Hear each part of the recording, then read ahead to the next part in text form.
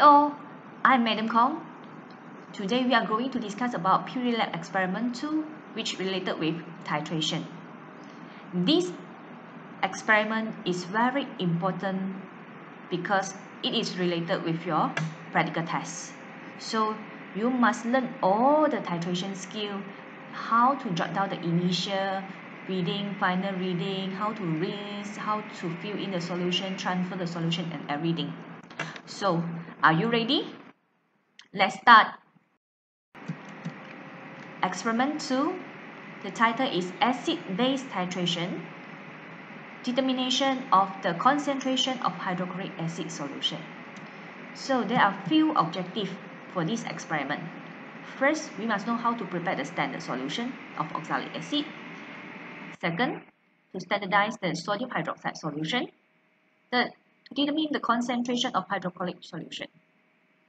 And then, the most important part, you must acquire the correct technique of titration. You must learn how to handle the burette, how to handle the pipette, and how to continue the experiment with repeating titration. So, this is the introduction from your lab manuals. There are few theory, so you must know how to extract the main point for this in introduction. So Madam Kong will give you some hints. First, what is titration? Next, about the standard solution. Next, what is an equivalent point? What is endpoint? And you can add some point that related with titration, dilution. Next, procedure A preparation of standard solution. These are the steps from your lab manual. So step number one, you have to weigh 3 gram of oxalic acid. Okay, last experiment you already learned how to use the analytical balance. So the step is the same. So you have to okay make sure pair first, then only you start to measure 3 gram of oxalic acid. Next, you can transfer distill water into the beaker and stir the solute with the distilled water, the solvent H2O, until the solution become homogeneously, meaning that there is no oxalic acid solid anymore. Then you transfer the oxalic acid solution into volumetric flask. Of course, before you transfer, right, make sure all the apparatus already rinse with tap water and rinse with distilled water. Okay, then you transfer and remember you must rinse the beaker, the filter funnel and the glass as well. Okay, all the rinsing water you must pour inside over here because right we have to make sure all the oxalic acid okay totally transferred into the volumetric flask. This is the way to prepare the standard solution. Then you have to shake the solution until homogeneous. Okay, this standard solution you are going to use to in part B. Next, procedure B, standardization of sodium hydroxide solution. So for this part, there are 10 steps from a lab manual. So I summarize the step for you all. So first, make sure that you rinse the burette with three solution. First, tap water, then distilled water, and then the third one is sodium hydroxide. After that, you fill in the sodium hydroxide inside the burette. Then you have to check, is there any air bubbles? If yes, you have to discard all the air bubbles before you start the experiment. Then you have to record the initial reading of the burette. So before you start to record, make sure that you know how to read the scale of burette. And then the initial reading not necessarily start with 0 0.00. Can be 0 0.10, 0 0.20 or 0 uh, or 1.25 and so on. Not necessary 0 0.00. Okay, next for the pipette part, again we have to rinse three times. First with tap water, distilled water, and the last one is oxalic acid. before you start for pipette the solution, make sure you transfer the oxalic acid solution into beaker. You cannot directly pipette the oxalic acid solution from the volumetric flask. You must transfer the volumetric flask oxalic acid into beaker. Clear? I keep on repeat from this part. Uh, not allowed to take the solution directly from the volumetric flask. You must transfer into beaker first.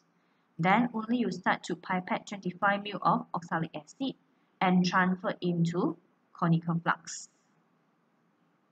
Remember, you must add distilled water after transfer. Here also the same, there's a meniscus over the pipette. Make sure you pipette exactly 25 ml of standard solution. There are some specific skill for this part. Okay, madam will teach you during experiment 2. Okay, after that, before you start the titration, make sure you double check. Have you record the initial reading from the burette? Then place a white towel on, on the top of the retort stand to help you observe the changes of the color while titration happen. And then you can start titrate. While you titrate, you have to swirl the conical flask. At the halfway, you can stop a while to rinse the wall of the conical flask with distilled water to ensure that all the sodium hydroxide mixed with oxalic acid. Of course, from time to time, you have to observe the changes of the color, the changes color of the solution. Is it start to change to light pink or light purple? If yes, you have to continue your titration drop by drop.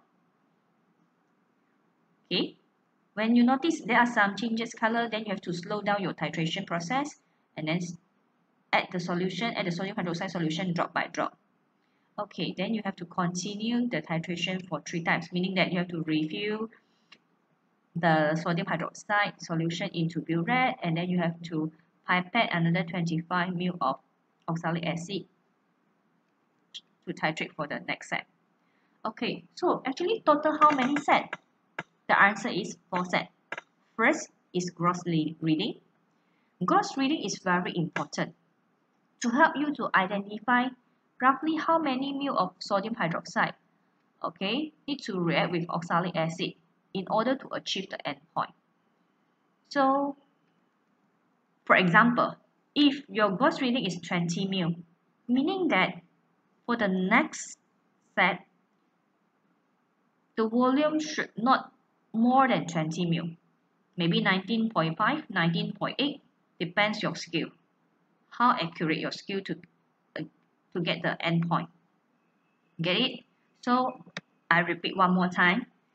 Okay, gross reading is help you to estimate the volume of sodium hydroxide to react with oxalic acid to achieve endpoint. Then your first, second, and third titration normally the volume of sodium hydroxide would not more than the gross reading unless you overshoot. Okay, clear? So once you finish your one set titration, remember to record the final reading. Next, procedure C, determination of the molar concentration of HCl hydrochloric acid solution. If compared to part A and part B, part C is much more easier. Okay, this part C is not related with A and B anymore. This one you just go to take roughly around 100, 100 ml of HCl. Uh, okay, 120 ml of HCl. Okay, because 20 ml is for you to rinse the pipette. Okay, then another 100 ml you need to divide four times, gross first, second, and third titration. So 25 ml you have to prepare four times, okay, into and then transfer into 250 ml of conical flask. So the steps exactly same as part B. Rinse, pipette, transfer, and add this uh, uh, indicator phenolphthalein. Okay, so repeat step 5 till 9 as in part B. So meaning that this part is for the burette and titration. You must record the initial reading for the burette and then bef again before you start you double check is there any air bubbles if yes you have to discard the air bubbles uh, and then place white towel on the retort stand then start the titration and swirl the solution for the sodium hydroxide drop with the drop into the conical flask with and react with the HCl and then halfway you can stop rinse the conical flask with distilled water okay, to ensure that acid and base properly react and observe the changes of the color and then repeat three times and then record the final readings. Then the last part is calculate the concentration of HCl.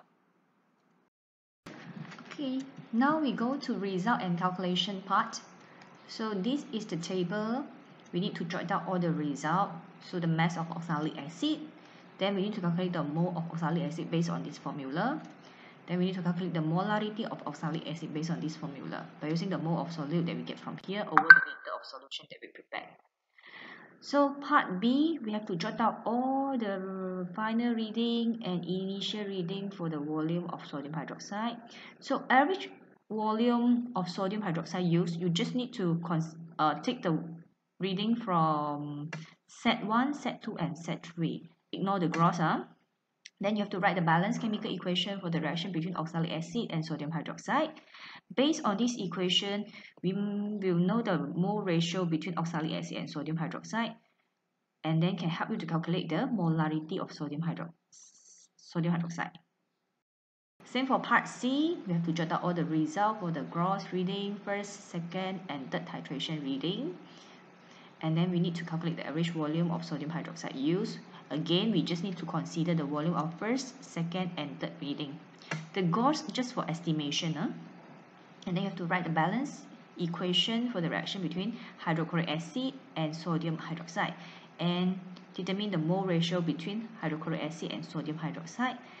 Then we need to find out the mole of sodium hydroxide based on mv per thousand in order to help you to find the mole of HCl then to find out the molarity of HCl. So here is the chemical equation. You can get the equation. You are very lucky because the equation is given from a lab manual. Based on the equation, you can estimate the, you can know the mole ratio between hydrochloric acid and sodium hydroxide and the mole ratio of oxalic acid and sodium hydroxide in order to help you okay to determine the other concentration of the solution. Then for the discussion part, you just need to answer this question. First, how to increase the accuracy of titration?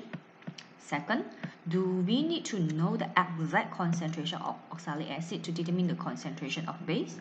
And another question, the addition of water into the conical flask will affect the result of titration? Yes or no? Then explain. So the last is about conclusion. So as I said before, conclusion must always refer to your objective. So in this case, the first and fourth objective is related with your skill. So we need no need to make it as the conclusion.